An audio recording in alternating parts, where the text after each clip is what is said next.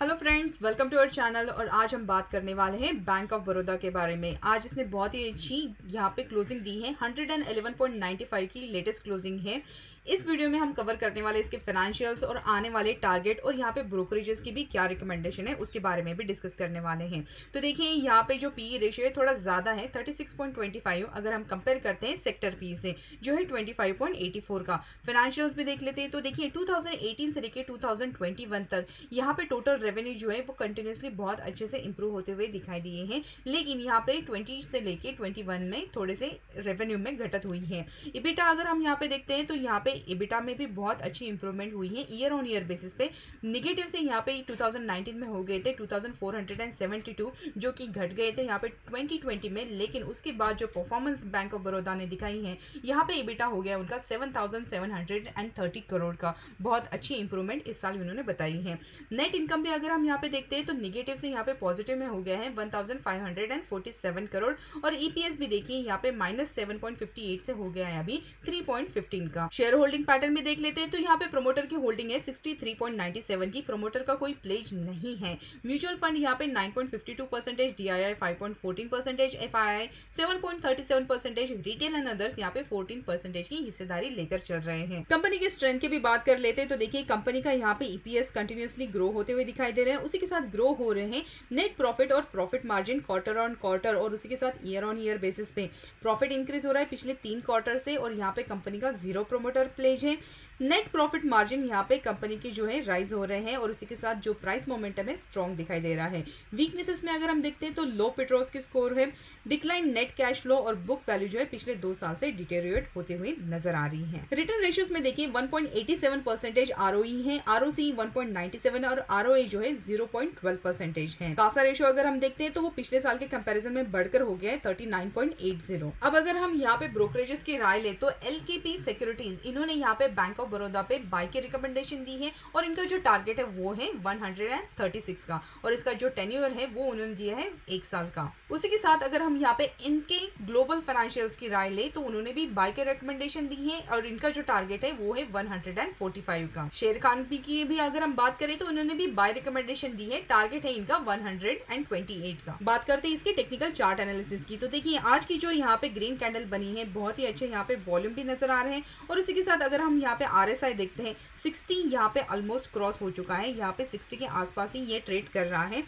M S C D यहाँ पे bullish crossover भी हो गया है तो दोनों इंडिकेटर जो हैं यहाँ पे 60 और उसके साथ एम एस सी डी दोनों ये इसके लिए पॉजिटिव हैं। और उसी के साथ जो हमारा स्टॉक है 20 मूविंग एवरेज और उसी के साथ 200 मूविंग एवरेज ये दोनों एवरेजेस के ऊपर ट्रेड कर रहा है, जो कि यहाँ से अप ट्रेंड की तरफ़ ही इंडिकेट कर रहा है। अब यहाँ पे अगर हम चार्ट पैटर्न की बात करते हैं तो देखिए, ये जो स्टॉक है, यहाँ पे बना रहे हैं एक इन्वर्स हेड एंड शोल्डर का पैटर्न यहाँ पे इनवर्स हेड एंड शोल्डर का जो नेकलाइन है, यहाँ पे जो हमारे लेवल्स थे 109 के ये ऑलरेडी आज के सेशन में इसने क्रॉस किए हैं और क्लोजिंग जो है वो ऊपर की तरफ़ दिए हैं 111 पे। तो यहाँ पे बहुत ही अच्छा यहाँ पे स्ट्रॉन्ग मोमेंटम नज़र आ रहा है। अगर ये जो लेवल है, आने वाले सेशन में अगर ये टूट जाते हैं तो उसके बाद हंड्रेड से यहाँ पे हंड्रेड और उसी के बाद जो नेक्स्ट रेजिस्टेंस जो है हमारा, वो है यहाँ पे हंड्रेड का। तो बहुत जल्द यहाँ पे कुछ सेशन के बाद यहाँ पे हंड्रेड के भी टारगेट अचीव होते हुए नज़र आ सकते हैं। हमारा यहाँ पे जो सपोर्ट है, वो अभी के लिए सपोर्ट रहेगा 104 का। अब जो लोग उन्हें यहाँ पे लॉन्ग टर्म के हिसाब से इन्वेस्ट करके रखा है, उन्हें तो होल्ड करना चाहिए, क्योंकि आने वाले जो इसके टारगेट है, वो बहुत ही अच्छे दिखाई दे रहे हैं। उसके लिए हम यहाँ पे देखते हैं इसका थोड़ा बड़ा चार्ट पैटर्न तो देखिए, ये जो स्टॉक है, यहाँ पे बहुत ही अच्छे से इनका जो चार्ट पैटर्न है, ये फॉलो करता है। बहुत ही अच्छी एक अप रैली देता है, फिर उसके बाद यहाँ पे गिरावट दिखाई देती है।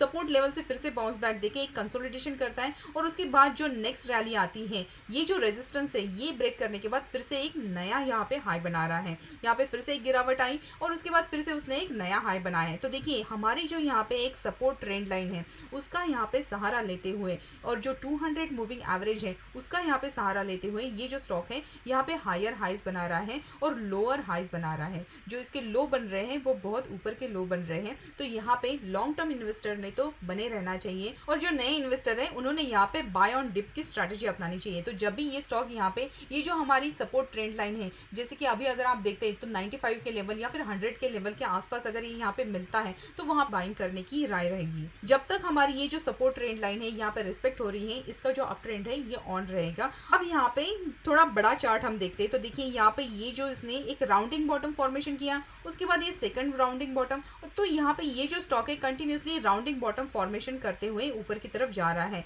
अब हमारे लिए जो मेजर रेजिस्टेंस था, ये जो रेजिस्टेंस है उसका भी उसने एक ब्रेकआउट दिया था, वो जो था 104 का। 104 के ब्रेकआउट के बाद यहाँ पे रिटेस्ट हुआ, और रिटेस्ट के बाद ये जो हमारी अप ट्रेंड जर्नी है, ये कंटिन्यू है। तो आने वाले मिड से लेकर लॉन्ग टर्म में, यहाँ पे जैसे ही ये 118 के जो टारगेट है, ये यहाँ पे क्रॉस कर देता है, उसके बाद यहाँ पे जो आने वाले टारगेट है नेक्स्ट हमारा टारगेट रहने वाला है 130 का, क्योंकि नेक्स्ट जो रेजिस्टेंस है, वो इसके आसपास है, जो है लेवल 130 के। अब यहाँ पे हम वीकली चार्ट भी एक बार देख लेते हैं। तो देखिए, ये है इसका वीकली चार्ट वीकली चार्ट में अगर आप यहाँ पे नोटिस करते हैं तो ये जो टू मूविंग एवरेज है स्टॉक जो है कंटिन्यूसली यहाँ पे भारी गिरावट दिखाई दे रहा था। तो हमारा टू मूविंग एवरेज भी देखिए, यहाँ पे नीचे आया है, और उसके बाद बहुत इंपॉर्टेंट चीज़ है यहाँ पे। देखिए, ये जो हमारा ट्वेंटी मूविंग एवरेज है इसने 200 मूविंग एवरेज को क्रॉस कर दिया है। तो देखिए, यहाँ पे बहुत ही अच्छा यहाँ पे क्रॉस हो गया है। तो इसका मतलब ये है कि आने वाले कुछ सालों में बैंक ऑफ़ बड़ौदा जो है, यहाँ पे बहुत ही अच्छा परफॉर्म करते हुए दिखाई दे सकती है। हमारे जो लॉन्ग टर्म के जो यहाँ पे टारगेट है वन से लेके वन के हैं और उसके बाद जब ये भी लेवल टूट जाते हैं तो उसके बाद वन